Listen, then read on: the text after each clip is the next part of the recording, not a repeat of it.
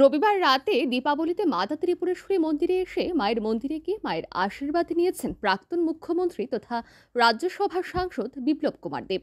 পরে মায়ের মন্দিরে মহাদেব বাড়িতেও যান, সেখানেও পূজা দেন মুখ্যমন্ত্রী। প্রাক্তন মুখ্যমন্ত্রী রাজ্যবাসীকে দীপাবলির শুভেচ্ছা জানিয়ে বলেন, রাজ্যবাসীর মঙ্গল কামনায় এদিন তিনি পুজো দিয়েছেন। ছোটবেলা থেকেই আমি মায়ের মন্দিরে আসি, মায়ের আশীর্বাদের জন্য। আর মা এবং জনগণের আশীর্বাদেই দু হাজার আঠারো সালে রাজ্যের ঐতিহাসিক পরিবর্তন করে আমাকে ত্রিপুরার মানুষ মুখ্যমন্ত্রী বানিয়েছিল। মানুষ আমাকে ভোট দিয়ে মুখ্যমন্ত্রী বানিয়েছে ঠিকই, কিন্তু এটা মায়ের আশীর্বাদই ফলস্বরূপ। পাশাপাশি তিনি আরও বলেন, মায়ের আশীর্বাদ ছাড়া সৈন্য থেকে সরকার হয় না। ত্রিপুরেশ্বরী মায়ের এবং রাজ্যের জনগণের আশীর্বাদের জন্য ভারতীয় জনতা পার্টি সৈন্য থেকে দু হাজার আঠারো সালে ত্রিপুরা রাজ্যে সরকার ক্ষমতায় আসতে পেরেছে। আমি ভারতবর্ষের যে কোনো প্রান্তেই থাকি না কেন, বাড়ি থেকে বের হওয়ার সময় মায়ের আশীর্বাদ নিয়ে বের হই।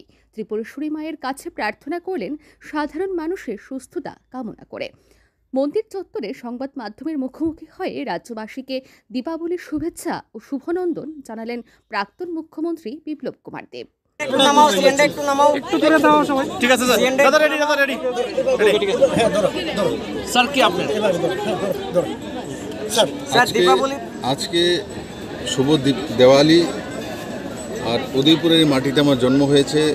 ছোটবেলা থেকেই ত্রিপুরেশ্বরী মায়ের কাছে আসি আশীর্বাদ পাই এবং মায়ের আশীর্বাদেই এবং জনতার আশীর্বাদে দু হাজার আঠারোতে ঐতিহাসিক পরিবর্তন করে আমাকে ত্রিপুরা মানুষ মুখ্যমন্ত্রী বানিয়েছে। মানুষ ভোট দিয়েছে কিন্তু আমার পূর্ণ বিশ্বাস যে মার আশীর্বাদ ছাড়া শূন্য থেকে সরকার হয় না। আমি যেখানেই থাকি, ভারতবর্ষের যে কোনো প্রান্তে যাই, আমি সবসময় মায়ের আশীর্বাদ নিয়ে বাড়ি থেকে বেরোই। আর আজকে শুভ দীপাবলির দিন। আমি এই মায়ের মন্দির থেকে সমস্ত ত্রিপুরাবাসীর জন্য দীপাবলির শুভেচ্ছা জানাই।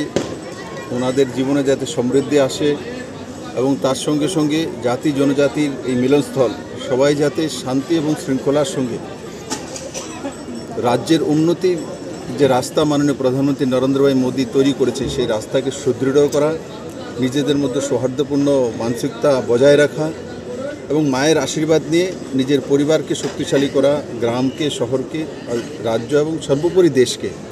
এটাই আমি এখান থেকে কামনা করি।